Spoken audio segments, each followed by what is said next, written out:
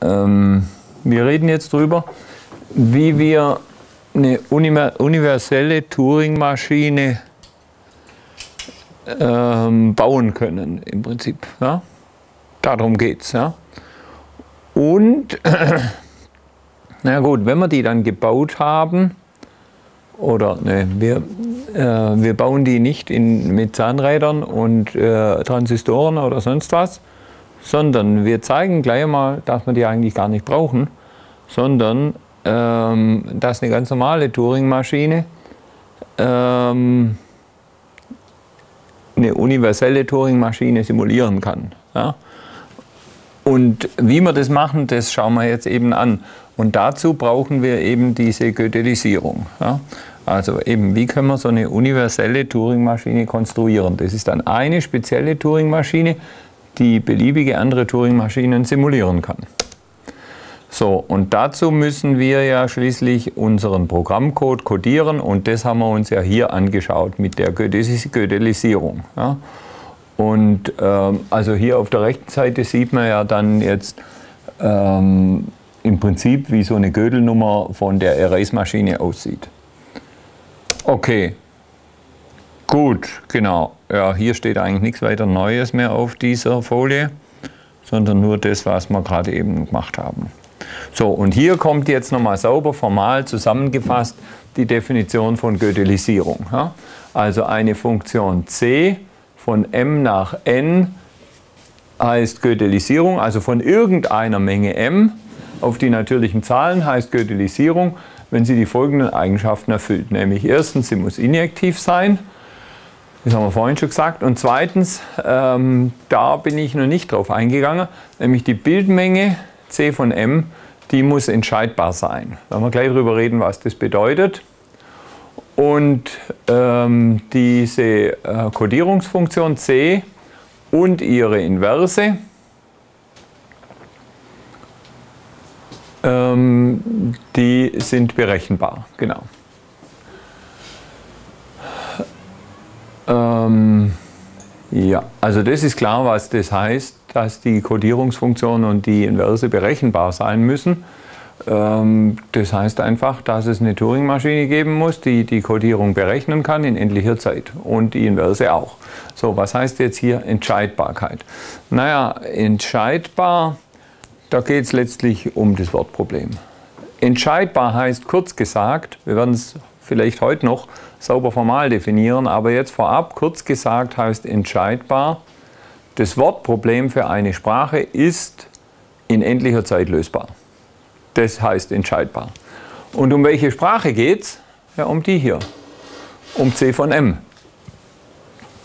Also, bezogen auf unsere Beispiele, wir wollen ja Turing-Maschinenprogramme codieren.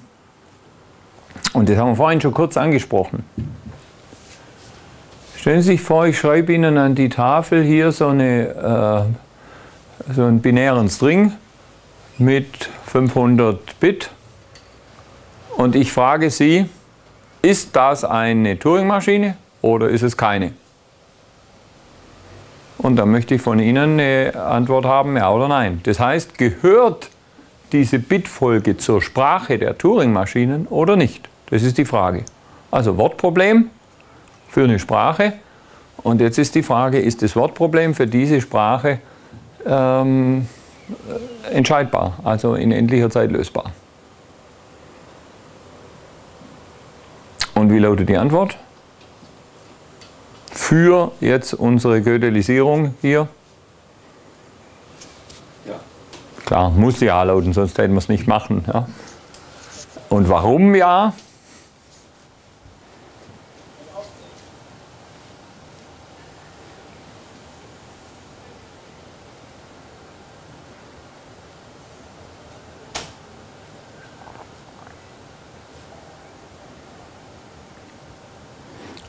Oder wie könnte ein, wie soll ich sagen, Parser aussehen,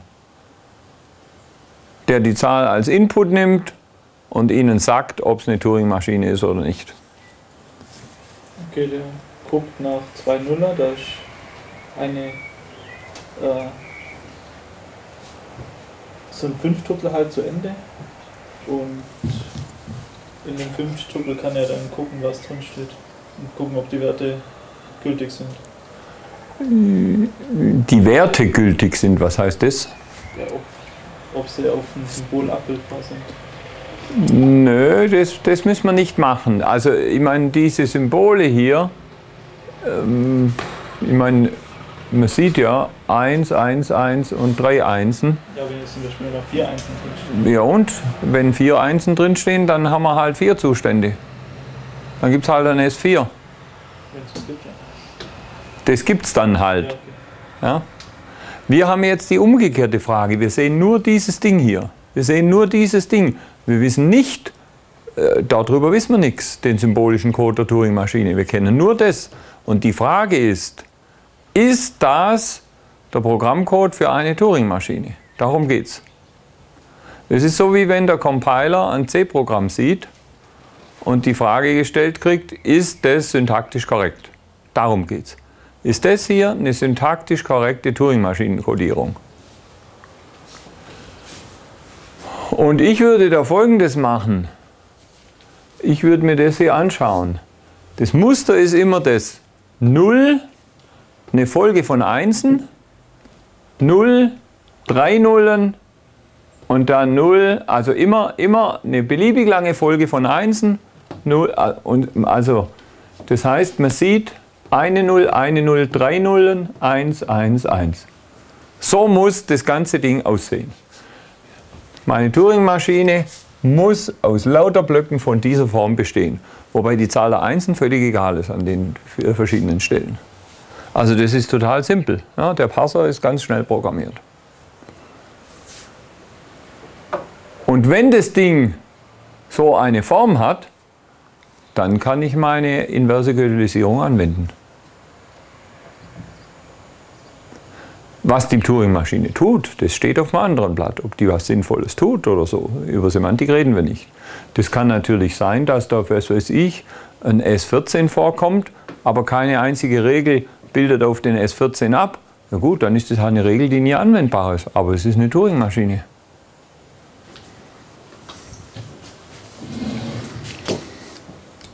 Okay, gut. Also, das ist natürlich jetzt wichtig, die Bildmenge muss entscheidbar sein, sonst äh, kann, ich, kann ich die inverse Funktion äh, eventuell gar nicht anwenden, wenn ich nicht rauskriege, ist es jetzt eine Turing-Maschine oder nicht. Ähm, aber hier ist die Bildmenge natürlich entscheidbar, haben wir gerade äh, angeschaut. Okay. Ja, das haben wir eigentlich auch alles besprochen. Im Allgemeinen keine bijektive Abbildungen. Ähm, nur solche Codierungen sind zulässig, für die man entscheiden kann, ob eine gültige oder ungültige Gödelnummer vorliegt. Okay, in unserem Beispiel ist es entscheidbar. Ähm, die Abbildung einer Turing-Maschine, also die Gödelisierung, muss berechenbar und umkehrbar sein. Auch das haben wir besprochen. Okay, so jetzt schauen wir an, wie wir unsere universelle Turing-Maschine äh, implementieren und zwar mit Hilfe einer Dreibandmaschine. Ja? Also die sieht so aus. Diese Maschine, die hat ein Codierungsband, da steht der Programmcode drauf, äh, dann ein Arbeitsband ähm, und ein Zustandsband. So, fangen wir gerade mit dem Zustandsband an. Auf dem steht nur äh, die Nummer des aktuellen Zustands der Maschine drauf. Ähm, ist klar, das Arbeitsband speichert den aktuellen Inhalt. Ähm, am Anfang ist es der Input. Ähm, oder im Moment äh, bin ich mir gar nicht ganz sicher. Das schauen wir jetzt nachher auf der nächsten Folie an. Ähm, und auf dem Codierungsband ist klar, da steht der Programmcode. Zustandsband wird am Anfang mit 1 initialisiert, ja, weil wir ja immer im Startzustand starten müssen. So, und jetzt sehen wir, wie ein Berechnungsschritt der Maschine simuliert wird. Ja. Erst einmal, klar, wir lesen vom Zustandsband den aktuellen Zustand. Dann lesen wir ähm, vom Arbeitsband das aktuelle Zeichen. Also auf dem Arbeitsband steht ja der, der Schreiblesekopf immer an einer bestimmten Stelle und da lesen wir das Zeichen. Dann haben wir Zustand und gelesenes Zeichen. Ja, was kommt jetzt als nächstes?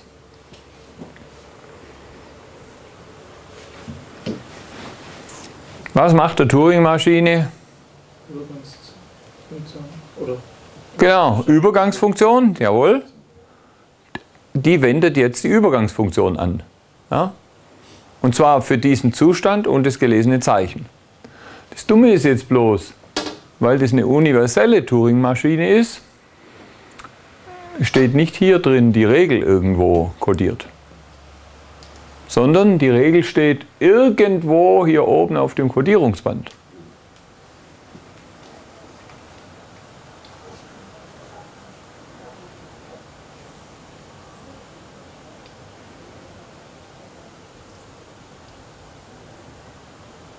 Was machen wir da? Was muss die Maschine jetzt tun?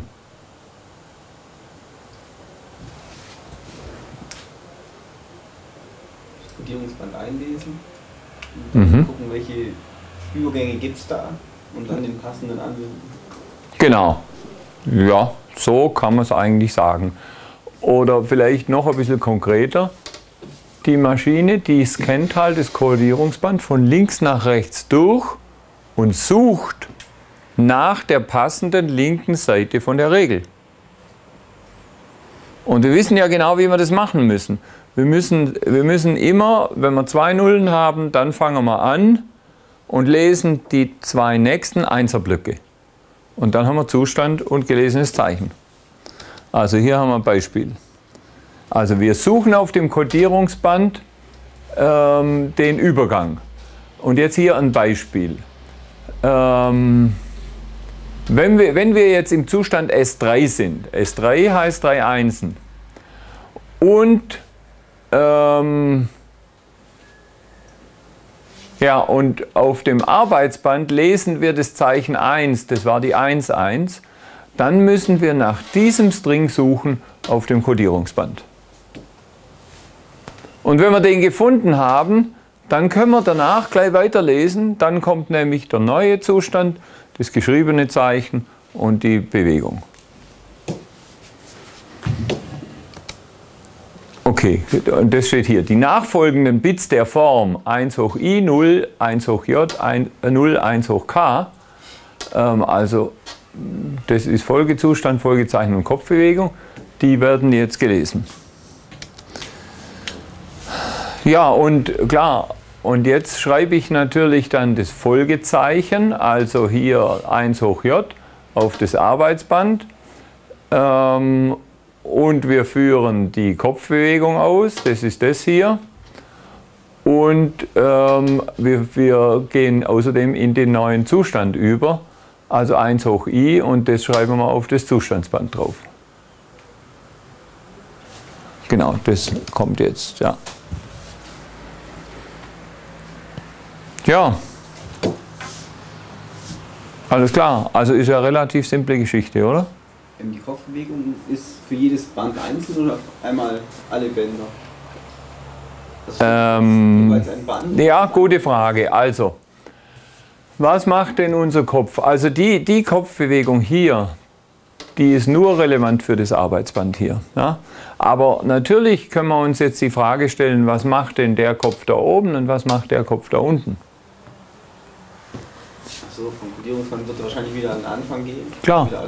Auf dem Kodierungsband läuft ja ein fester Algorithmus immer durch. Ja? Nämlich ich suche die Stelle, wo die richtige Regel steht und dann lese ich ähm, diese nachfolgenden Bits aus und dann rattert er wieder an den Anfang zurück. Ja? Und auf dem Zustandsband genauso.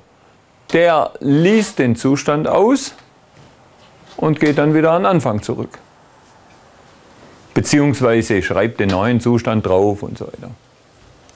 Ist es dann im Zustandsband, wird da nur ähm, immer, da wird ja immer der aktuelle Zustand Ja, draufgeschrieben. genau. Wird der alte dann überschrieben oder geht der einfach nur in Nö, nö, der wird überschrieben. Wird überschrieben. Der wird überschrieben, ja, ja, klar. Die, also der Zustand ist wirklich immer nur ein Zustand. Ja. Das heißt, die Turing-Maschine, die weiß auch nicht, in welchem Zustand sie davor war. Das vergisst sie wieder.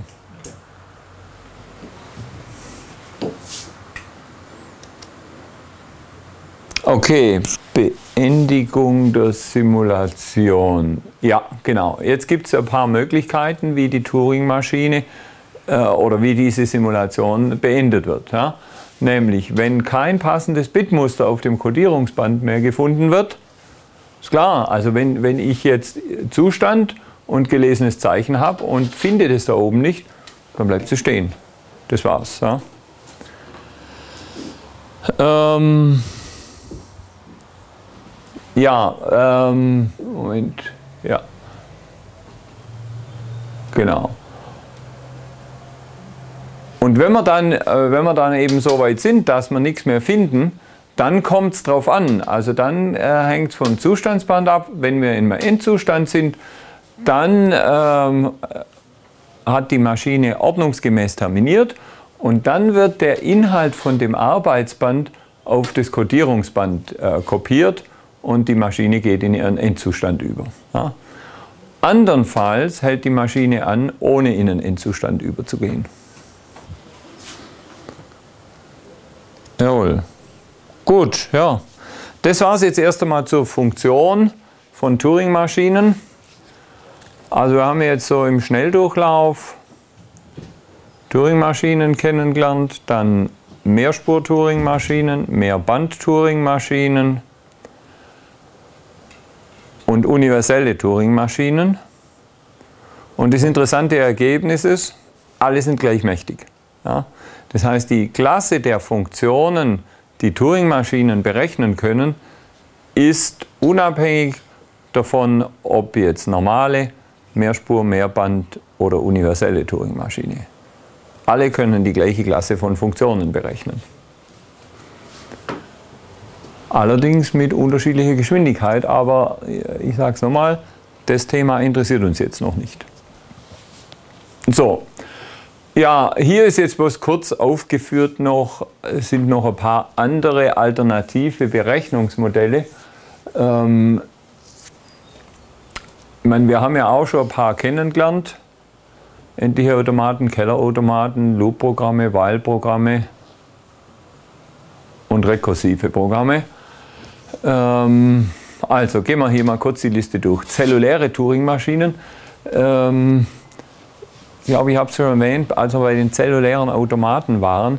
Man, es gibt auch ähm, also der Herr Conway, das ist ein, ein, amerikanischer Mathematiker, der viel für im Spektrum der Wissenschaft auch geschrieben hat, so mathematische Probleme und Knobeleien und so.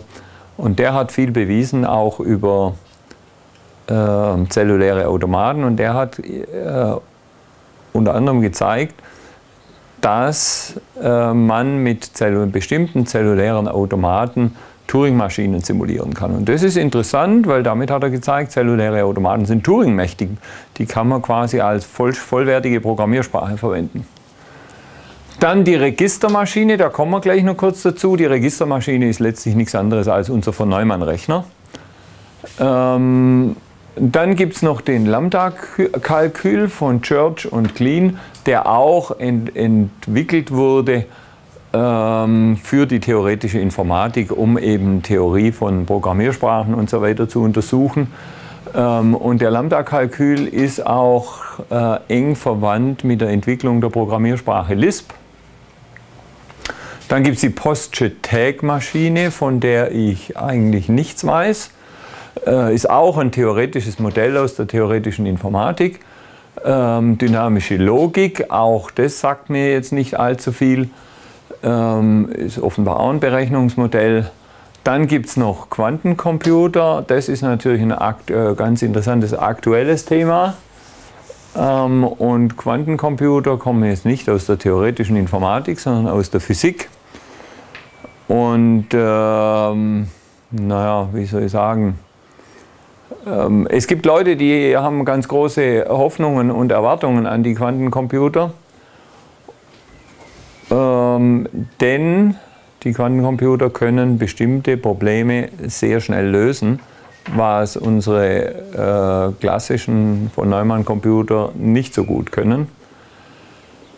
Ähm, aber an der Stelle, wo wir jetzt sind, wo es nämlich nicht um Rechenzeit geht, bringen die uns gar nichts, die Quantencomputer. Im Gegenteil. Also die sind nicht berechnungsstärker als Turing-Maschinen. Okay, äh, kurz ein paar Worte zu Registermaschinen. Ich will hier nicht auf die Details eingehen, weil Sie wissen ganz genau, wie ein von Neumann-Rechner funktioniert. Ich meine, das ist im Prinzip ganz grob, stark vereinfacht die Struktur. Also wir haben einen Hauptspeicher und dann haben wir einen Programmspeicher. Dann gibt es da so einen Akkumulator, das ist praktisch die, der zentrale Speicher mit Registern drin, wo die arithmetischen Operationen ausgeführt werden. Dann gibt es einen Befehlszähler, der sich immer merkt, an welcher Stelle im Programm wir sind. Und dann gibt es ein Ausgabeband und ein Eingabeband. Also ja, ähm, ja, das sind so die wesentlichen Elemente der Registermaschine. Und dann gibt es dann natürlich noch einen Befehlssatz. Ja? Ähm, und hier auf der Folie sieht man jetzt so äh, Ideen für Befehle, also lade irgendeinen Wert in den Akkumulator rein und so Zeug. Sie kennen das von Assembler-Programmierung ähm, und da will ich jetzt nicht drauf eingehen. Ähm, so, ähm, auch hier ein Beispiel, das lassen wir auch weg. Wichtig ist, dass ähm, Turing-Maschinen und Registermaschinen gleich mächtig sind. Ja? Also das heißt, jede Turing-Maschine lässt sich durch eine äh, Registermaschine simulieren und umgekehrt genauso. So, ähm, und das ist natürlich jetzt ganz wichtig für uns, äh, denn äh, daraus können wir jetzt schließen, es ist egal, ob wir, was die Berechenbarkeit betrifft, irgendwas für Turing-Maschinen beweisen oder für von Neumann-Rechner, weil die sind gleich mächtig.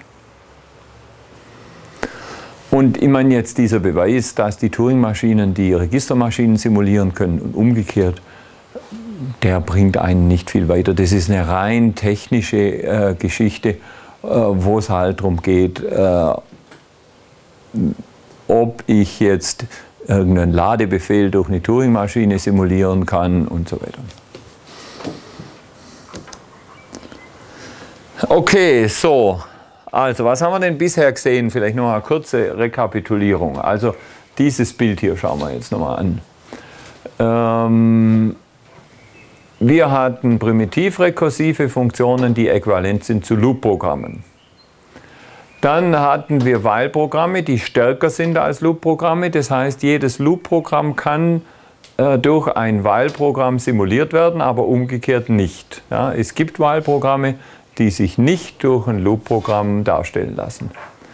While-Programme sind äquivalent zu den myrekursiven Funktionen. Dann hatten wir GoTo-Programme kurz angesprochen, die sind äquivalent zu den While-Programmen. Und jetzt haben wir Turing-Maschinen eingeführt und wissen, die sind äquivalent zu den Registermaschinen. Aber hier dazwischen, da fehlt uns noch irgendwie der Zusammenhang. Ja? Und äh, den werden wir jetzt äh, herstellen. Genau. Und zwar, ähm, oder war das hier dazwischen? Ja, genau. Wir zeigen jetzt, dass Turing-Maschinen und While-Programme äquivalent sind, beziehungsweise GoTo-Programme. Ja. Okay, also erst einmal zeigen wir, dass sich jedes While-Programm durch eine Turing-Maschine simulieren lässt. Ja? Also sprich, wir geben eine Turing-Maschine an, die äh, jedes While-Programm simulieren kann. Ja? So, ähm, die While-Sprache, jetzt erinnern wir uns vielleicht noch mal kurz dran, was kann denn die? Die While-Sprache ist ja im Prinzip die Loop-Sprache plus das While-Statement. Und bei der Loop-Sprache was haben wir denn da? Da haben wir Wertzuweisung, Successor-Operation, Predecessor-Operation, da haben wir die Null, da haben wir so ein, äh, ein Speichervektor, in dem wir Variablen speichern können. Komposition haben wir noch, Loop-Befehl ja, und While-Schleife. Genau, und das müssen wir alles simulieren können. So, wir fangen an mit der Init-Maschine die ein, ein ausgewähltes Band mit dem Wert 0 initialisiert. Ja, also, und ich meine, das ist also zum Beispiel init von x2, das heißt, da werden halt auf das Band, auf das zweite Band lauter Nullen draufgeschrieben äh, oder Leerzeichen. Ja, also das ist trivial. Dann eine Copy-Maschine, das entspricht der Wertzuweisung. Wir kopieren den äh, Inhalt von Band 1 auf Band 2. Ach so, sorry, und ich habe noch vergessen zu sagen, wir gehen her und tun für jede Variable, die unser Wahlprogramm hat, also in diesem Speichervektor, äh, spendieren wir ein Band. Ja. Okay, und wenn wir jetzt also das Variable x1 auf x2 äh, kopieren wollen, dann müssen wir den Inhalt von Band 1 auf Band 2 kopieren. Und das ist ja auch äh, trivial zu erledigen mit der Turing-Maschine. Die Predecessor-Maschine genauso, ist klar, also wenn wir hier äh, aus dieser unären 2 äh, eine 1 machen wollen, das ist auch trivial, Successor genauso. Dann äh, eine if-Maschine, also wir haben ja gesehen, die While, äh, in While-Programmen können wir ein if realisieren ähm, und das können wir natürlich mit Turing-Maschinen auch machen, das ist klar. Ja? Also äh, in Abhängigkeit davon, ob die Zahl jetzt eine 0 ist oder eine 1, mache ich halt was anderes, das ist klar. Also ich will da jetzt auch nicht auf die Details von diesem Programm da eingehen. Oder soll man das anschauen? Ja? Okay. Und zwar also diese, ähm, dieses if-Konstrukt vergleicht einen Wert k mit dem Inhalt xi des iden-Bandes. Genau, wir schauen auf das ide-Band drauf. Wenn xi gleich k ist, so wird in den Zustand sy eingenommen, sonst der Zustand sn. Und zwar k gleich 1. Hier, wir sehen es. If xi gleich 1, dann gehen wir in sy und sonst gehen wir in S1, äh, Sn. Ja. So, wir sind in S0. Wenn wir eine 0 lesen in S0, dann gehen wir in Sn über und bleiben stehen. Ja? Ähm, das heißt, wir bleiben in Sn, wenn wir eine 0 lesen. Ja? Passt ja auch. Ähm, wenn wir eine 1 lesen, dann soll das ja in Sy enden. Wenn wir eine 1 lesen, gehen wir nach S1 über, lassen die 1 stehen und gehen nach rechts. Ja? Wir gehen nicht sofort in ähm, in SY über, genau, sondern wenn wir, also jetzt gehen wir nach S1, wenn wir in S1 sind und eine 0 lesen, dann gehen wir nach Sn und nach links. Moment mal, was ist denn das jetzt?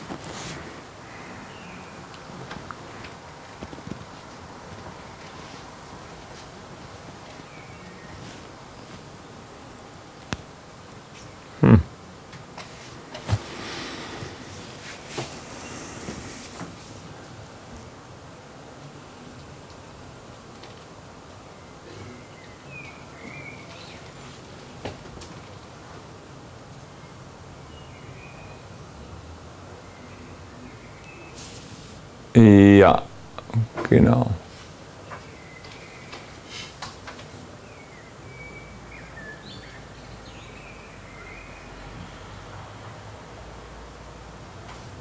Okay, also genau, ja klar, uns, wir, wir müssen uns ja erinnern, unsere Bänder, jedes Band äh, implementiert ja nur eine einzige Variable.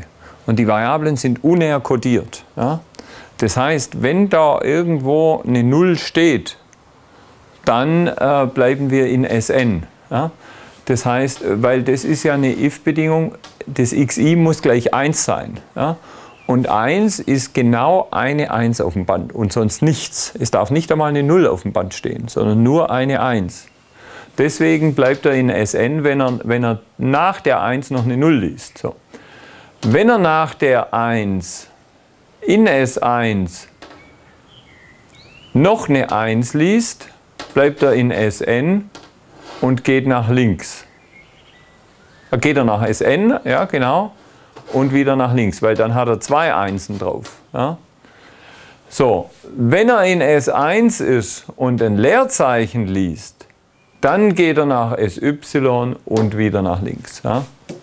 Das heißt, wenn genau eine 1 auf dem Band draufsteht, dann ähm, geht er nach SY und in allen anderen Fällen nicht. Okay, so und jetzt kommt natürlich der wichtige Punkt, nämlich äh, die While-Programme. Wie kann ich jetzt mit meiner Turing-Maschine ein While-Programm simulieren? So, und hier haben wir jetzt ein While-Programm in der Clinchen Normalform. Das hatten wir, äh, ich glaube, nicht besprochen, weil was ich weggelassen habe, ist, wie wir GoTo-Programme in While-Programme übersetzen. Ja? Und wenn man so GoTo-Programme in While-Programme übersetzt, dann war ja das Ergebnis, dass jedes GoTo-Programm lässt sich in ein While-Programm transformieren mit genau einer While-Schleife. Ja? Und dieses While-Programm hat dann so eine Struktur. Ja? Das ist eine While-Schleife, also da gibt es so, eben so eine Variable y, weil y ungleich 0, du. So, und jetzt werden alle Fälle abgefragt, äh, if y gleich 1, then y gleich 2 und so weiter. Ähm, genau. Diese, diese verschiedenen Fälle, die kommen äh, daher, also die Fälle und natürlich hier jeweils noch ein, ein, ein Rumpf drin. Ja, da, können, da können eine ganze Menge Befehle noch stehen, aber keine Wahlschleife mehr. Ja. Ähm, das ist praktisch, wenn ich ein While-Programm nehme und in ein Go-To-Programm übersetze, und zwar ein While-Programm mit vielen eventuell geschachtelten While-Schleifen, daraus ein Go-To-Programm mache, dann kriege ich am Ende und aus dem Go-To-Programm wieder ein While-Programm mit einer While-Schleife, dann kriege ich am Ende ein Programm, das für die Original-While-Schleifen hier überall noch so eine Bedingung stehen hat. Und das ist diese klinische Normalform. So, und jedes, jedes Wahlprogramm lässt sich auf diese klinische Normalform bringen. So, ja gut. Äh, und diese Struktur, die lässt sich jetzt, ähm, tun wir das jetzt einfach erst einmal als ein Flussdiagramm lesen. Ja? In so ein Flussdiagramm bringen. Wir initialisieren das Ganze und dann fragen wir, if y gleich 0, das ist praktisch hier die Abbruchbedingung. Wenn ja, sind wir fertig. Wenn nein, dann gehen wir hier innen rein in den Rumpf. If y gleich 1. Äh, wenn ja, dann führen wir diesen Block A1 aus. Ja? Und gehen dann wieder hoch an den Anfang dieser Schleife. Ja. Beziehungsweise, ah, sorry, also von der Programmstruktur her ist es nicht, also da steht ja jetzt nicht ein, äh, irgendwie ein, ein Break oder was drin. Sowas haben wir ja auch gar nicht. Das heißt, eigentlich geht es hier weiter. Aber wenn eben y gleich 1 war und wir haben das ausgeführt, dann kann es nicht gleich 2 und so weiter sein. Ja? Das heißt, die werden dann alle gar nicht ausgeführt und deswegen passt es, dass wir hier direkt zurückspringen. Und so weiter. So geht es äh, durch alle diese if-Blöcke durch. Okay, damit haben wir jetzt ein Flussdiagramm hergestellt und ähm, gleichzeitig auch eine Turing-Maschine, weil wir dürfen ja solche Kompositionen von Turing-Maschinen machen. Ähm, und wir können das if implementieren in der Turing-Maschine. Ja, und damit äh, gibt es eben auch eine Turing-Maschine, die beliebige Wahlschleifen, also nicht beliebige, sondern klinische Normalform-Weilschleifen simulieren kann. Okay? Gut. Also haben wir gezeigt, jede wahlberechenbare Funktion ist Turing berechenbar. Und jetzt ist die Frage, ob die Umkehrung auch gilt. Ja? Ähm, das heißt, jetzt müssen wir Turing-Maschinen ähm, durch Weil-Programme simulieren. Ja? Ähm, also gegeben sei jetzt eine beliebige Turing-Maschine, 7 Tuppel. Ähm, jetzt führen wir so, so eine ja, äh, Bezeichnung ein. Und zwar, wenn wir eine Zahl Pi haben und dann schreiben wir diese spitzen Klammern hin und meinen ähm, die Codierung dieser Zahl im Bandalphabet. Ja?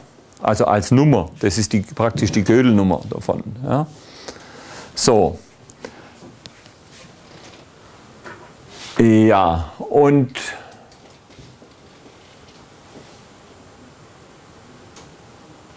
Ja, letztlich gehen wir jetzt eben her und codieren. Was müssen wir denn jetzt machen? Also wir müssen ja jetzt einen Turing-Maschinen-Simulator bauen. Ja? Darum geht es eigentlich. Es geht eigentlich darum, wie programmiere ich einen Turing-Maschinen-Simulator. Und zugegeben, das, was hier jetzt der Hoffmann da gemacht hat, ist nicht das, wie Sie das tun würden, wenn Sie das jetzt programmieren würden in C oder so, sondern äh, eine etwas äh, exotische Methode. Ähm, ja, ein bisschen mathematisch auch geprägt. Schauen wir mal rein. Wir werden jetzt nicht alle Details genau durchgucken, aber ein bisschen anschauen können wir es ja. Also, wir müssen, wie gesagt, es geht darum, eine Turing-Maschine äh, zu simulieren. Und wenn ich einen Turing-Maschinen-Simulator baue, dann brauche ich natürlich irgendwie eine Datenstruktur, die mir die Konfiguration der Maschine repräsentiert. Und Konfiguration heißt ja, ich habe eine Zeichenkette, dann einen Zustand und dann den Rest der Zeichenkette. Ja? Und die Maschine steht im Zustand S auf dem ersten äh, Zeichen von diesem Rest hier. So, und jetzt kodiert der die Konfiguration der Turing-Maschine folgendermaßen. Also dieses Nü hier besteht aus den Zeichen Rho m-1 bis Rho 0 die sind quasi nummeriert von rechts nach links. Ja? Dann haben wir den Zustand, dann haben wir den Rest von dem Wort Sigma 0 bis Sigma n minus 1. Ähm, ja. Und das wird jetzt als GoTo-Programm mit den Variablen xny, xs und xomega dargestellt. Das GoTo-Programm vergessen wir mal noch für einen Moment.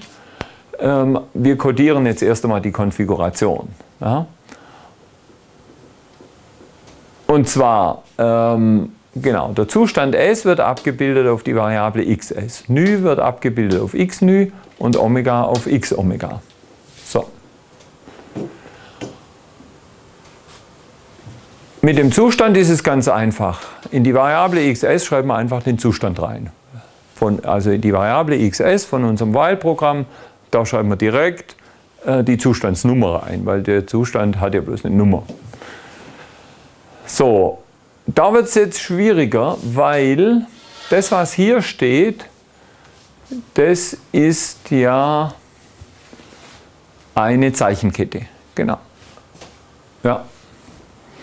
Weil diese Zeichen hier, das sind Zeichen aus dem Bandalphabet Lambda. Und diese Zeichenkette, wir haben das gleiche Spiel wie so oft davor, die wollen wir jetzt codieren in eine Zahl. Ja? Und jetzt verwenden wir wieder eine ja, leicht modifizierte Art der Gödelisierung. Und zwar das, was hier passiert, das, was wir hier haben, das ist die sogenannte B-adische Darstellung ähm, einer Äh, ja, einer Zahl, genau. Ja. So, und, und was passiert hier? Das ist eine Summe, i gleich 0 bis m minus 1, also die, die ist so lang wie die Zahl der Zeichen hier in dieser Zeichenkette nü. Und zwar, wir gehen von rechts nach links vor. Und jetzt schreiben wir rein hier die Codenummer des Zeichens Pi. Ja? Also hier nochmal.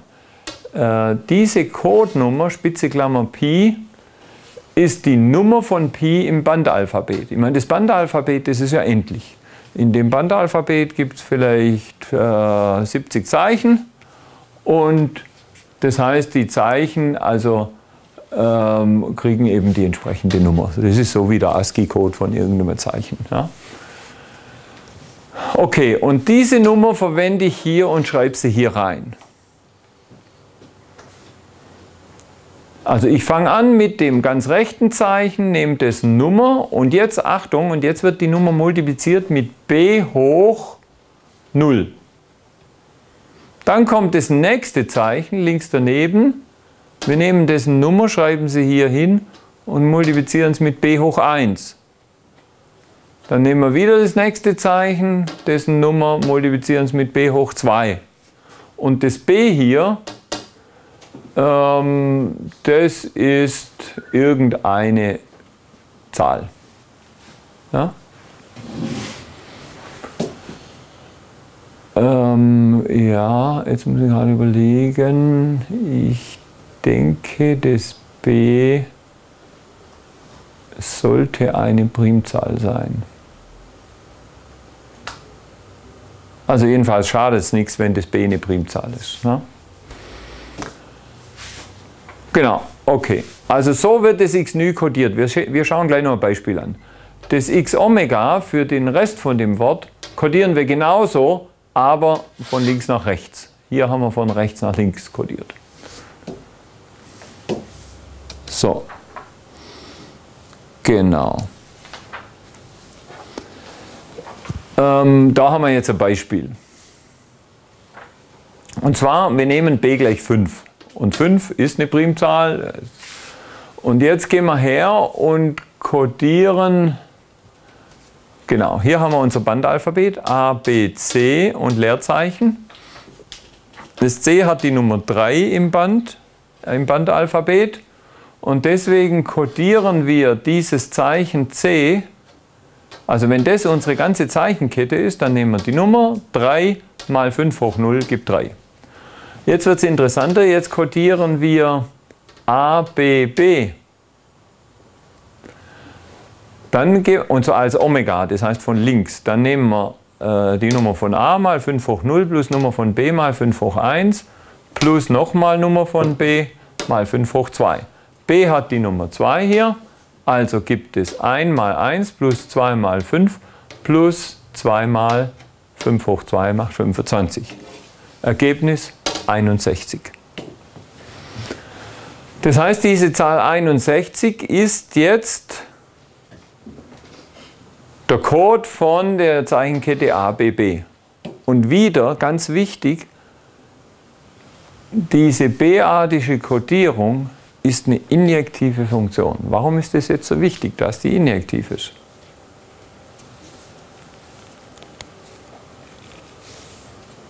Also ist, glaube ich, jetzt heute mindestens das dritte Mal, wo wir über so injektive Codierungen reden. Warum ist das so wichtig an der Stelle?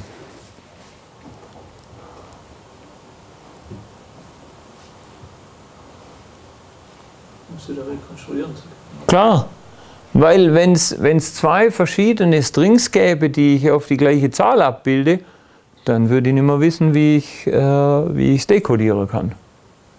Aber so ist es, die, aus dieser 61 können wir eindeutig diesen String rekonstruieren. Ja, genau. Okay, also das heißt, damit können wir jetzt zum Beispiel sowas. Also das ist jetzt ja eine Turing-Maschine. Wir haben eine Turing-Maschine, die steht an der Stelle auf diesem Band. Das heißt, wir codieren das, die, die Anfangszeichenkette, die ist C, ist 3. Ähm, dann codieren wir die Endzeichenkette. Das ist ABB, das, macht die, das gibt die 61. Und dann müssen wir noch den Zustand von der Maschine codieren. Okay, das wissen wir nicht, aber dann nehmen wir einfach die Nummer. So, also jetzt haben wir an einem Beispiel gesehen, was hier passiert wird. Zustand, Anfangszeichenkette und Endzeichenkette. Gut. Ähm, ja, und jetzt kommt was, also da steige ich jetzt nicht in alle Details ein. Ja. Ähm, und zwar, wie kann ich jetzt die Linksbewegung von meiner Turing-Maschine simulieren? Also vielleicht ähm, sollte man nochmal kurz ähm, was haben wir gesagt, wie die Konfigurationen, genau. Also wir haben jetzt für unser Beispiel, das schreiben wir vielleicht mal an die Tafel. Ähm, gut, den Zustand, den wissen wir jetzt nicht, weil da steht hier nichts. Ähm, was weiß ich, also unser XS, unsere Variable XS, die hat den Wert S, welcher Zustand das auch immer war. Dann x äh, nü, ist gleich 3 und x Omega ist gleich 61. So, das haben wir jetzt. Ja? Und das bedeutet ja nichts anderes als, wir haben das Band und da haben wir C, A, B, B. Und unsere Turing-Maschine steht an dieser Stelle auf dem Band. So, also wir merken uns eigentlich nur das, was da auf der Folie war. So, und jetzt wollen wir eine Linksbewegung simulieren. Das heißt, wir müssen unseren Pfeil von hier nach da verschieben. Und das Interessante ist, wie machen wir das jetzt hier? Was müssen wir mit diesen Zahlen tun? Äh, wie verändert sich diese Zahl und diese Zahl, ähm, sodass das dann passt? Ja? Genau.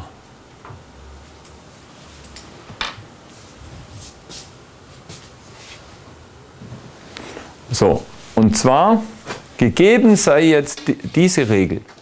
Also, wir, äh, wir gehen Zus vom Zustand SI bei gelesenem Zeichen Sigma über nach SJ, äh, schreiben das Zeichen Sigma Strich und bewegen uns nach links. Ja? So. Als erstes teilen wir mal x Omega durch b. Ja, warum machen wir denn das? Das liegt an dieser b-adischen Darstellung. Hier. Das liegt daran, dass das ja eine Summe ist von Nummer mal Potenz von b. Wenn wir dieses ganze Ding hier durch b dividieren, dann reduzieren sich alle Exponenten um 1. Ja? Weil wir teilen ja die ganze Summe durch b.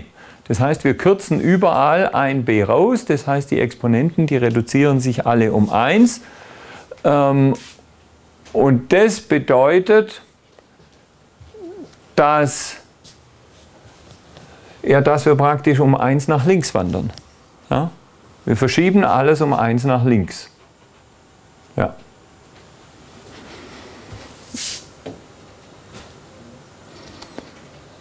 So.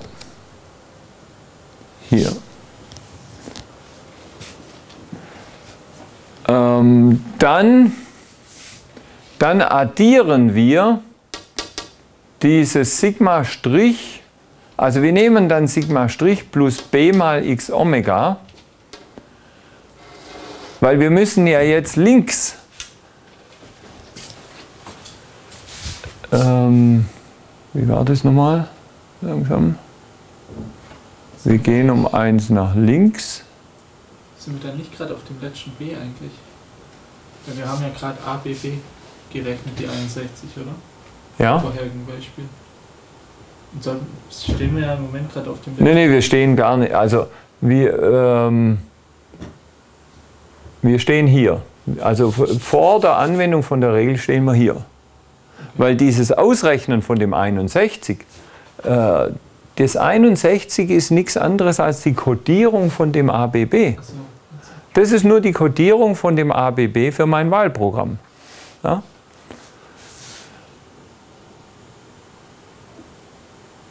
Genau.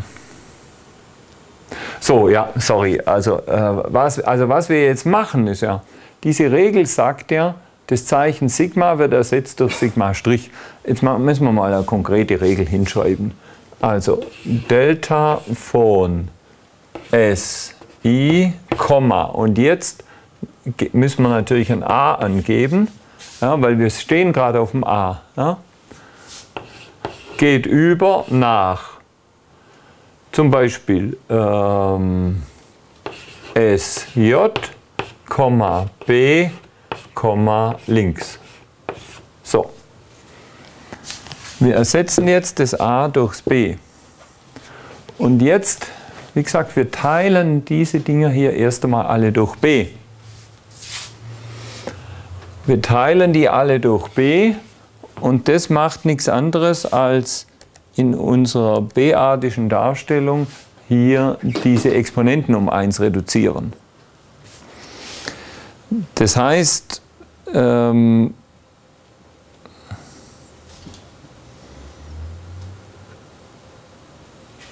genau, was passiert denn mit dem, mit dem konstanten Term hier b hoch 0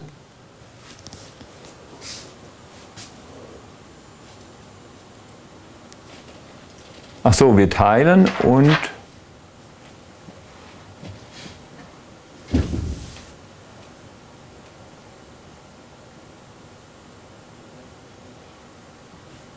ja. Das hier, dieser Term hier, der ist kleiner als 5, weil das ist einmal eine Zahl kleiner als 5. Und jetzt machen wir eine Integer-Division. Bei der Integer-Division fällt der Teil einfach weg.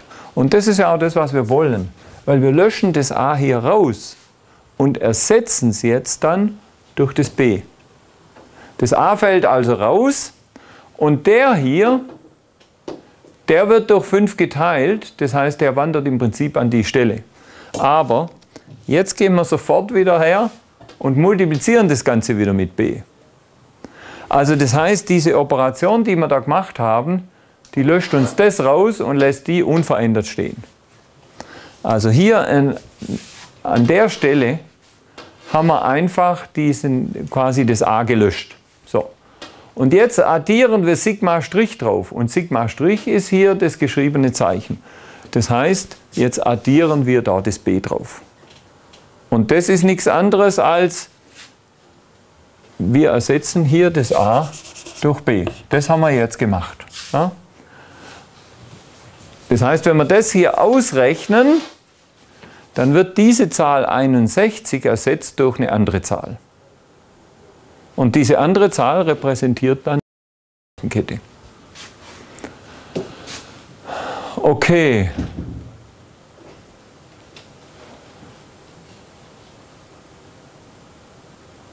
Ja. Aber jetzt sind wir noch nicht fertig. Weil Jetzt wandern wir noch um eine Stelle nach links. Das heißt, jetzt stehen wir hier. Wir machen ja jetzt noch eine Linksbewegung. Und wenn wir die Linksbewegung machen, dann ist nämlich unser, ähm, unsere rechte Seite, rechter Teil, das Wort Omega, da gehört dann das C auch noch dazu. Das heißt, und das passiert hier. Wir nehmen jetzt x nu modulo b. Wir nehmen den Rest von x nu, den wir kriegen bei Division durch b.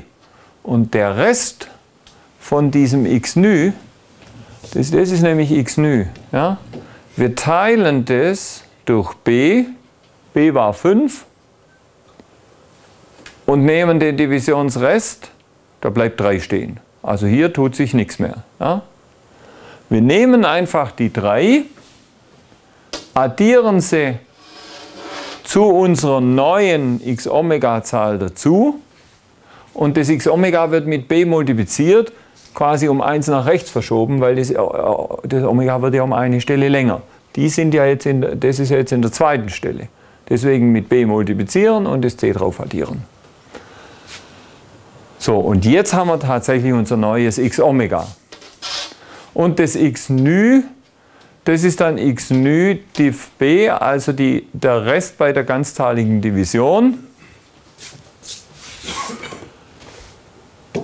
Ähm, und in dem Fall ist es dann 0. Ja. Weil vorher war ja das x nü nur ein Zeichen und jetzt ist es leer. Ja, und XS ist gleich J. Also ist klar, der neue, neue Zustandsnummer. Okay, ja gut, jetzt sind wir es doch relativ detailliert hier durchgegangen. Bei der Rechtsbewegung ist das analog. Ähm, ja. Gut, so. Also jetzt haben wir uns angeschaut, wie wir einen einzelnen Zustandsübergang ähm, einer Turing-Maschine durch so ja, durch ein Weil-Programm äh, simulieren können. So. Ähm, ja, Wie sieht jetzt unsere gesamte Turing-Maschine aus? Die setzt sich jetzt wieder zusammen aus ein paar Teilen. Wir initialisieren zuerst einmal unsere internen Variablen. Ähm, äh, ja, also die internen Variablen für unser Wahlprogramm.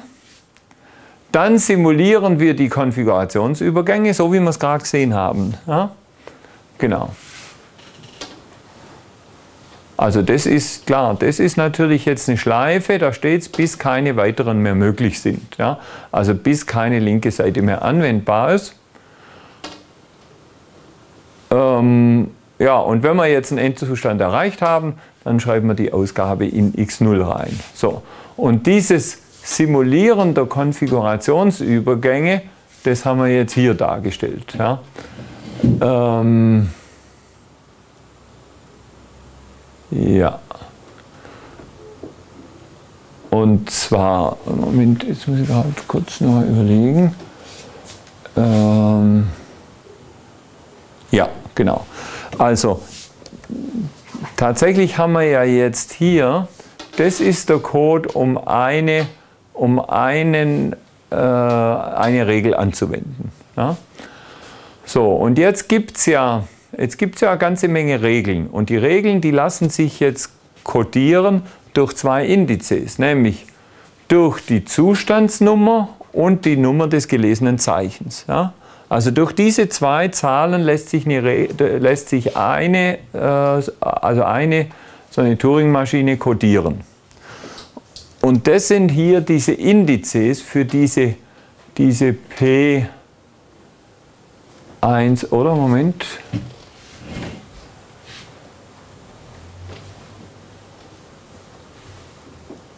Ja, doch, genau. Ja. Ähm, also das hier, was wir hier rechts haben, ist erstmal ein GoTo-Programm. Und das sind die Labels für unser GoTo-Programm. Also, und da haben wir dieses Label P2. An das springen wir hin, wenn wir hier durch sind. Dann gehen wir an das Label P2, wir gehen da rein. So. Und ähm, jetzt schauen wir erst einmal an, was ist das aktuelle Zeichen, auf dem die Maschine gerade steht. Zum Beispiel hier. Und das kriegen wir raus, indem wir sagen x Sigma gleich x Omega modulo b. Ja? Weil dann kriegen wir den niederwertigsten Teil ähm, und wir haben das aktuelle gelesene Zeichen. Und jetzt kommt, jetzt prüfen wir ab.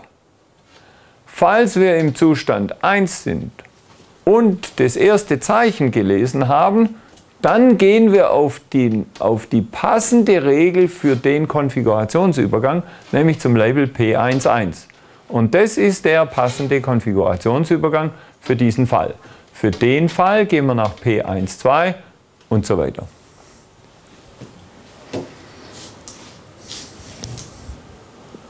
Ja, gut. Und so können wir jetzt, letztlich ist das ein GoTo-Programm, aber die sind ja äquivalent zu den Wahlprogrammen, ähm, unsere Turing-Maschine, also quasi also das hier würde ich jetzt nennen einen Turing-Maschineninterpreter. Ja?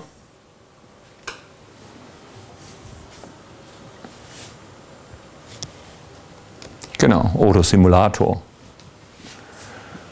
Okay, und damit äh, haben wir jetzt gezeigt, wir können jede Turing-Maschine durch ein While-Programm simulieren. Die Umkehrung haben wir davor gezeigt und damit ähm,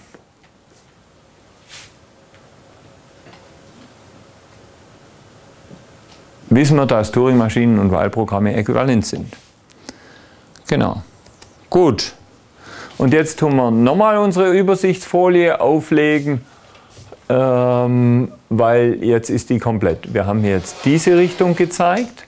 Also wir können jedes Wahlprogramm durch eine Turing-Maschine simulieren und jede Turing-Maschine durch ein GoTo-Programm simulieren. Genau, also damit ähm, sind wir soweit erst einmal durch und haben da ein Verständnis dafür. Okay, nahezu alle Berechnungsmodelle besitzen die gleiche Ausdrucksstärke, außer Loop-Programme. Ja, Genau, ah ja, und hier nochmal diese Bemerkung jetzt. Äh, auch die Quantencomputer oder DNA-Computing ähm, können nicht mehr berechnen. Allenfalls bestimmte Aufgaben schneller.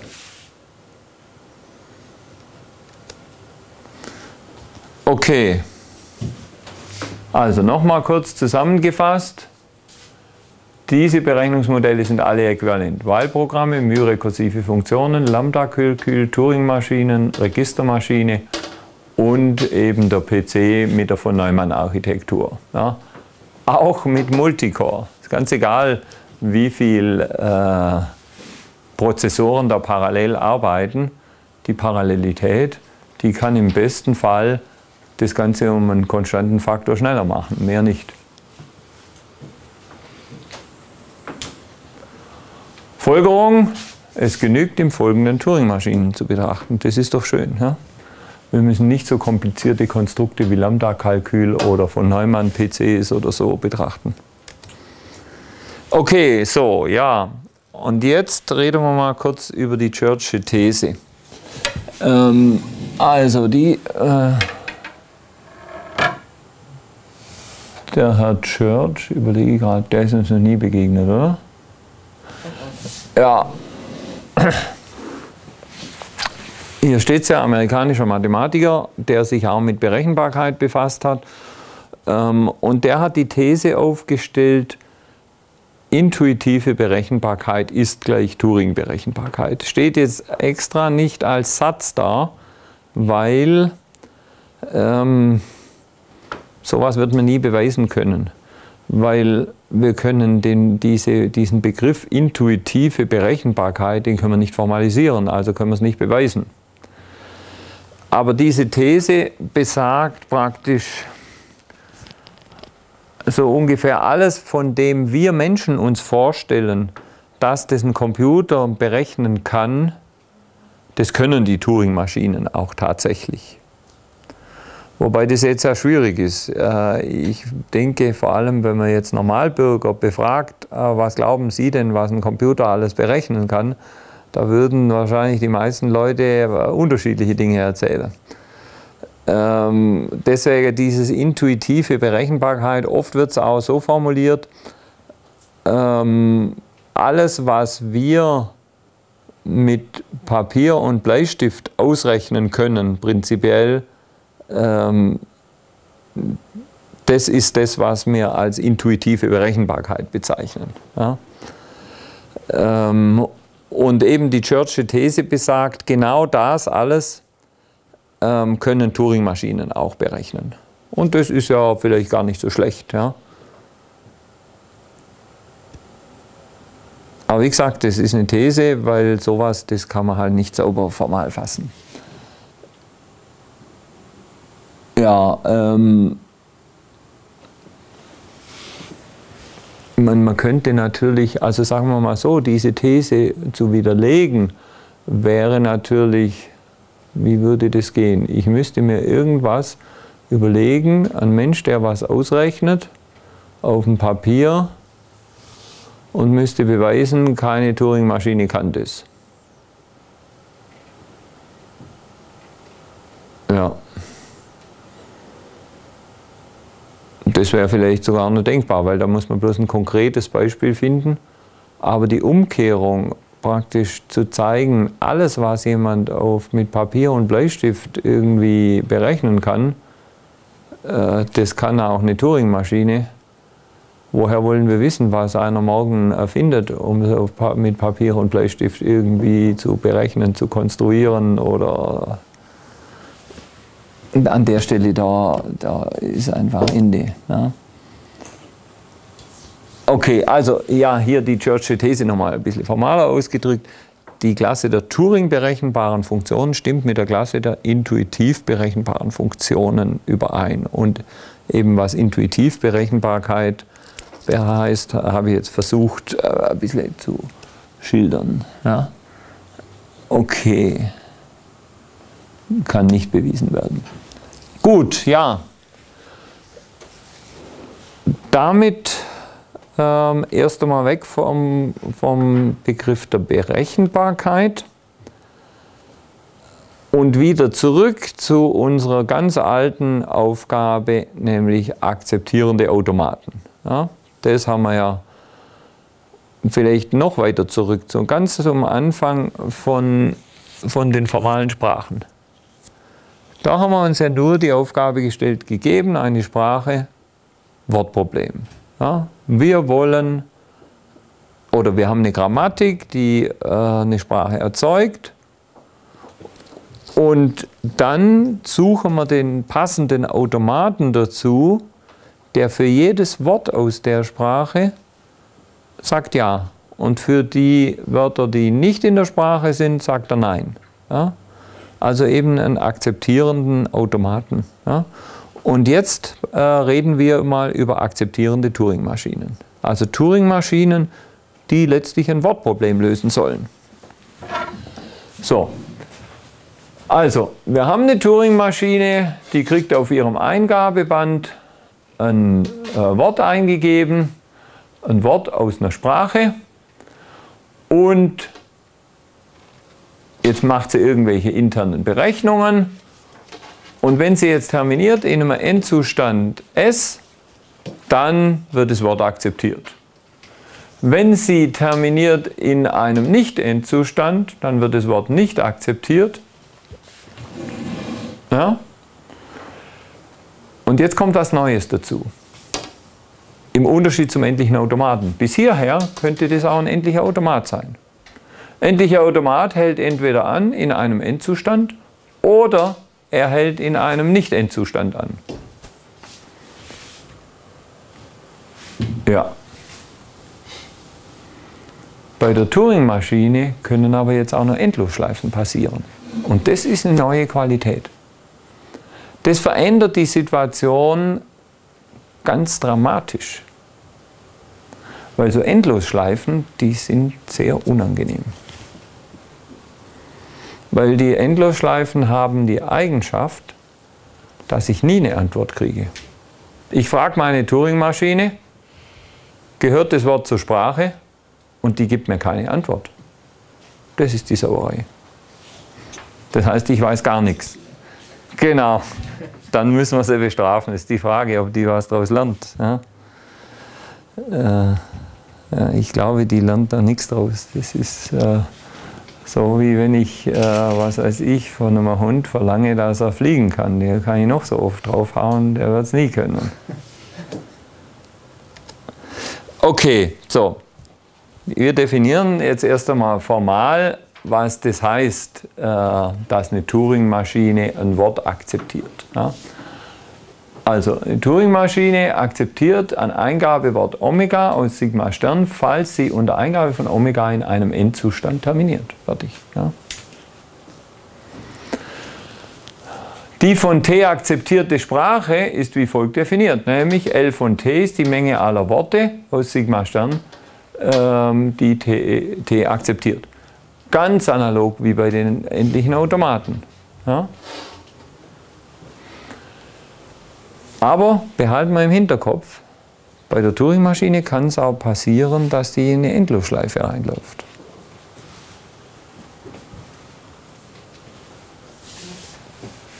Und deswegen sind diese Begriffe hier jetzt interessant.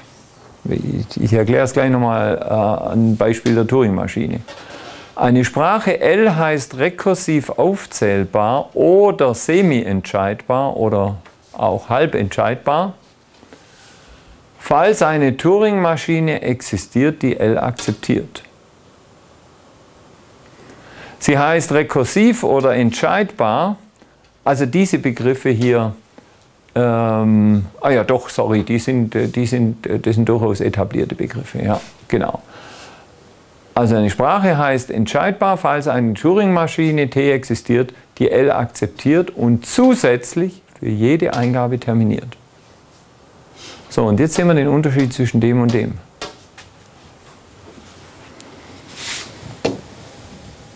Bei den Automaten, da hätte die Unterscheidung überhaupt keinen Sinn gemacht, weil der Automat, der terminiert sowieso immer. Und jetzt, wir sehen jetzt wieder, die, die Tatsache, dass, so, dass es Endlosschleifen bei Turing-Maschinen geben kann, die zwingt uns zu dieser Unterscheidung hier. Und wenn wir jetzt also eine Turing-Maschine haben, die eine bestimmte Sprache akzeptiert, dann hat die eine ganz unangenehme Eigenschaft oder kann haben, muss nicht, aber kann haben. Das kann sein, ähm, dass die, die Sprache nur halb entscheidbar ist. Nämlich wenn das vorkommt, dass die Turing-Maschine ab und zu in die Endlosschleife reinläuft, dann kriegen wir keine Antwort. Ja? Allerdings, jetzt müssen wir wieder hier oben reinschauen, falls eine Turing-Maschine existiert, die L akzeptiert. Und akzeptiert heißt ja, das ist natürlich positiv. Akzeptiert heißt, äh, falls sie unter Eingabe von Omega in einem Endzustand terminiert. Also das heißt, die terminiert ja doch immer. Die von T akzeptierte Sprache ist wie folgt definiert. Das ist die Menge aller Worte, die T akzeptiert. Das heißt, die terminiert ja auch auf allen Worten. Ja, wunderbar. Da haben wir ja, haben wir ja das Problem doch nicht da unten, oder, oder wie ist denn das?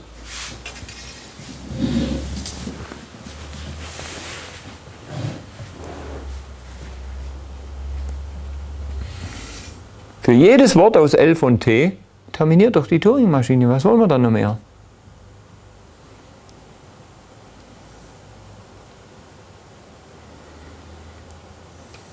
Soll ich mal ein Beispiel machen? Ähm, nehmen wir die Sprache aller Primzahlen. Ja?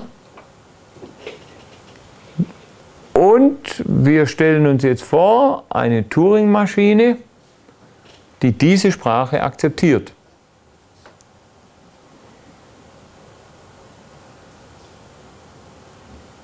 Das heißt, für jede Primzahl, wenn ich die eingebe, hält die Maschine nach endlicher Zeit an und sagt, ja, dann ist doch alles in Butter, oder?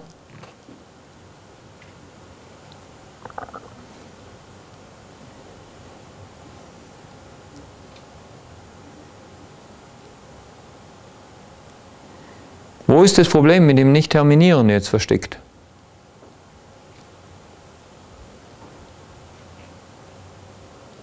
So, dass es für jede Eingabe terminieren muss? Oder steht da zusätzlich für jede Eingabe? Wo steht es? Bei dem unteren. Die L akzeptiert. Bei entscheidbar. Genau. Ja. Da steht es zusätzlich. Ja, und was heißt das? Das ist Auch genau. Jede Eingabe akzeptiert, oder? Ja, was heißt A? Also Was- nicht zu den Primzahlen. Genau darum geht es. Wir reden ja über die Sprache der Primzahlen. Okay, und wenn ich jetzt eine Turing-Maschine haben will als Primzahlentscheider, ja hallo, dann sollte die auch was ausgeben für die Nicht-Primzahlen. Aber genau das ist mir nicht mehr garantiert bei der Turing-Maschine. Wenn ich eine Turing-Maschine habe, die eine Sprache akzeptiert, und ich weiß nur, die akzeptiert die Sprache, dann heißt es, für alle Worte in der Sprache sagt die nach endlicher Zeit Ja und hält an. Aber für alle Nichtworte, da kann es passieren, dass ich gar keine Antwort kriege. Ganz wichtiger äh, Unterschied zu den endlichen Automaten. Ja? Und das macht uns, das wird uns einige äh, Probleme, Schweinereien und Schwierigkeiten bereiten. Aber ja, mit der Tatsache müssen wir einfach leben. Und deswegen ist auch ganz wichtig der, die Unterscheidung zwischen halb entscheidbar und entscheidbar. Und dieses halb entscheidbar ist eigentlich ein sehr anschaulicher Begriff.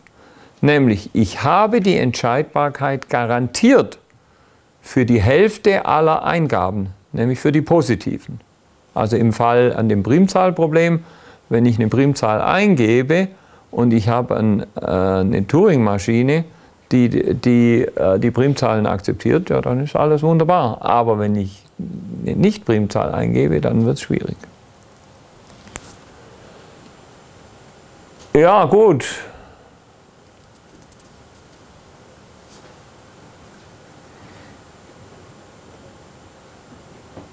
Ja. Okay. Akzeptierende Turing-Maschinen. So, da haben wir jetzt gleich die Frage, erweitert der Nichtdeterminismus das Modell der akzeptierenden Turing-Maschine? Wie ist denn das nochmal mit dem Nichtdeterminismus? Wie war das bei der Turing-Maschine? Haben wir nicht-deterministische Turing-Maschinen erlaubt hier bei den... Ah, sorry, da müssten wir jetzt ganz weit zurückgehen.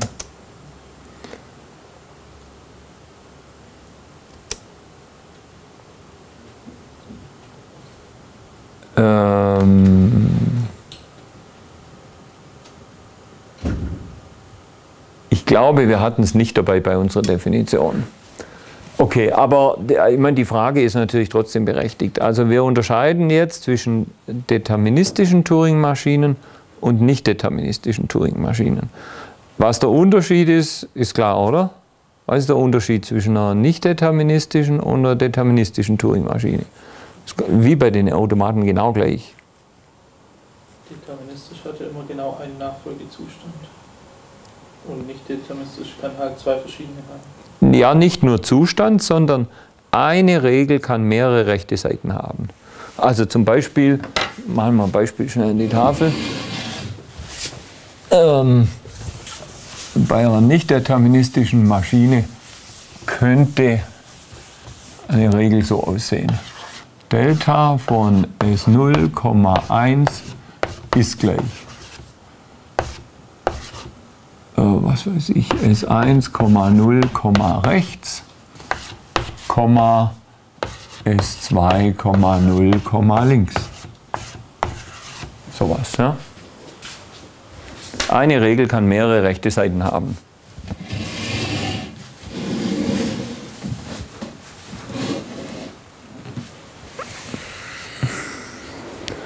So, und jetzt ähnlich wie bei den endlichen Automaten und bei den Kellerautomaten können wir hier die Frage stellen, sind nicht deterministische Turing-Maschinen mächtiger als deterministische Turing-Maschinen? Also ist die Klasse der ähm, akzeptierten Sprachen eine andere bei deterministischen und bei nicht deterministischen Turing-Maschinen. Bei den endlichen Automaten hat es nichts ausgemacht, bei den Kellerautomaten macht es einen Unterschied. Und bei den Turing-Maschinen macht es keinen Unterschied. Ja? Und jetzt wollen wir uns das überlegen, warum. Ja? Ähm, ja. Ich meine, ich, ich tue das mal grafisch illustrieren, erst bevor wir das ganz formal anschauen. Und zwar, wenn wir jetzt so eine Regel haben, wie ich sie gerade jetzt weggewischt habe, wir starten unsere Maschine in irgendeiner Konfiguration. Ja, also Eingabewort, Startzustand. Und jetzt bei der deterministischen Turing-Maschine gibt es genau eine anwendbare Regel. Das heißt, wir kommen in eine neue Konfiguration und in dieser neuen Konfiguration schauen wir wieder, welche Regel ist anwendbar. Also hier diese, so ein Abarbeitungspfad, der läuft hier runter, bis ich irgendwann äh, terminiere, im Endzustand oder auch nicht. Oder auch nicht terminiere. Kann ja auch sein, die hält nicht an. Ja? Aber es gibt einen deterministischen Pfad. Bei der nicht deterministischen Turing-Maschine, ja, da gibt es jetzt halt mehrere Pfade. Und an jeder Stelle rekursiv natürlich hier wieder.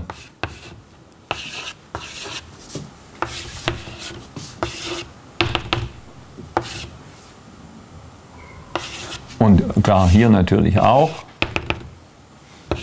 So, Wir kriegen, wir kriegen einen Abarbeitungsbaum.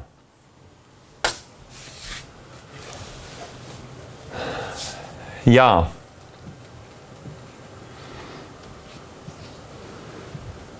Und jetzt müssen wir uns noch überlegen, was heißt denn jetzt nochmal, wir reden jetzt über akzeptierende Turing-Maschinen. Also über Turing-Maschinen, die das Wortproblem lösen sollen. Ja? Und vielleicht tue ich gerade nochmal die Folie zurück mit dem akzeptiert.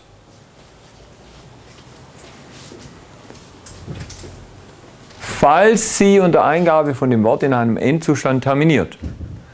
Das heißt, das ist ganz wichtig, also äh, bei dem Akzeptieren, da ist irgendwann jeder Pfad zu Ende. Da gibt es keine äh, unendlich tiefen Pfade. Also das Akzeptieren ganz unendlich weit unten, das gibt es nicht. Ja? Akzeptieren passiert immer nach endlicher Tiefe. Aber der Baum ist tatsächlich unendlich tief. Weil es gibt ja Endlosschleifen. Und Endlosschleife heißt, unendlich tiefer Ast. So.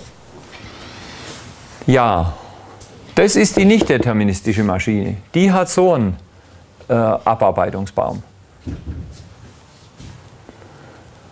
Die deterministische im Vergleich dazu, die kann nur sowas machen.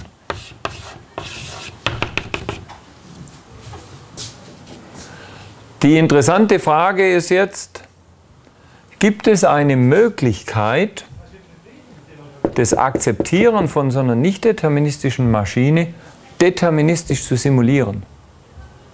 Also das Akzeptieren, nehmen wir mal an, hier gäbe es irgendwo so einen Pfad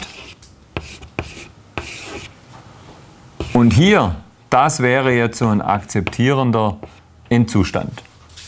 Also, und das heißt, diese nicht deterministische Maschine, die würde irgendwann sagen, jawohl, akzeptiert, ähm, weil ihr Orakel sie dahin geführt hat. Können wir das deterministisch simulieren?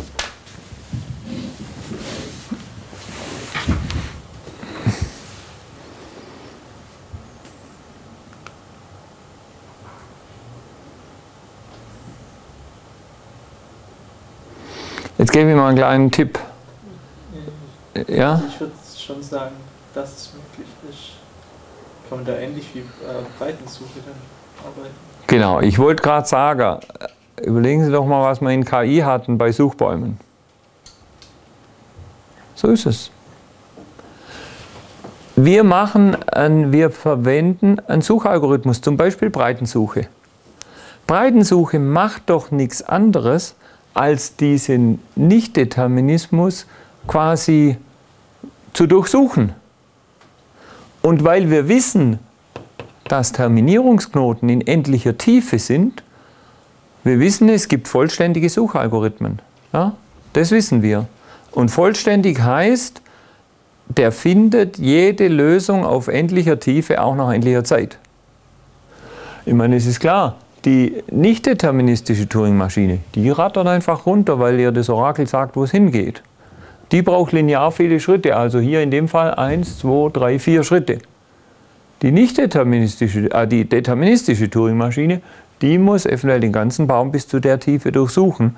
Das heißt, die hat natürlich exponentiell viel Rechenzeit mehr. Aber da uns die Rechenzeit immer noch nicht interessiert, ähm, ist das doch wunderbar. Ist das klar geworden? Ja? Wir durchsuchen einfach diesen äh, Berechnungsbaum, der durch den, die nicht deterministischen Verzweigungen aufgespannt wird, mit Breitensuche oder Iterative Deepening, egal. Und ähm, wichtig ist natürlich, die Tiefe ist endlich und der Verzweigungsfaktor ist endlich. Dass die Tiefe endlich ist, das ist klar. Das liegt an der Definition von akzeptiert, weil akzeptieren tut die nur, wenn sie terminiert. Ähm, aber wie ist es mit dem Verzweigungsfaktor? Ist der endlich?